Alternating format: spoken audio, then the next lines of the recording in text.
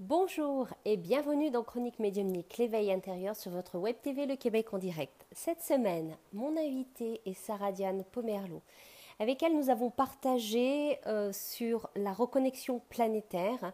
Soyez des notes pour écouter cette émission puisque vous allez savoir, nous, enfin, nous avons parlé des voyages initiatiques, de cette reconnexion planétaire, mais surtout de cette reconnexion, de notre propre reconnexion.